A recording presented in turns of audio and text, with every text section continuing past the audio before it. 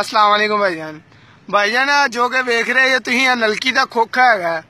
ਇਹ ਖੋਖੇ ਦੇ ਵਿੱਚ ਤੁਸੀਂ ਵੇਖੋ, ਇਹ ਮੈਂ ਤੁਹਾਨੂੰ ਇਹਦੇ ਵਿੱਚ ਕੀ ਲਿਖੀਚਾ ਪਹਿਲਾਂ ਨਾਂ ਕੰਪਨੀ ਦਾ ਪੜ੍ਹ ਲਓ। ਇਹ ਜਿੰਨਾ ਹੋ ਸਕੇ ਵੀਡੀਓ ਸ਼ੇਅਰ ਤੁਸੀਂ ਕਰਨੀ ਹੈ ਇਹ ਕੰਪਨੀ ਦਾ ਨਾਂ ਲਿਖੀਚਾ ਹੈ ਇਹਨੂੰ ਆਪਾਂ ਬੰਦ ਕਰਵਾਣਾ ਇਹ ਵੇਖੋ ਇਹਦੇ ਵਿੱਚ ਕੀ ਲਿਖੀਚਾ ਹੁਣ। ਆ ਮੇਰੇ ਪਿਆਰੇ ਭਾਈਓ ਇਹ ਦੇਖੋ, ਗੌਰ ਨਾਲ ਦੇਖਣਾ ਜਰਾ।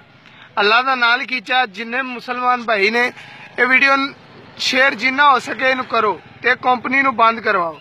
ਐਂ ਦਾ ਨਾਲ ਖੀਚਾ ਜੀ। ਦੇਖੋ